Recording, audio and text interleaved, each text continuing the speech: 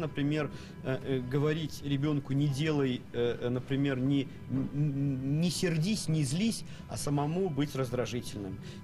Просить ребенка не ругаться, а самому ругаться, да?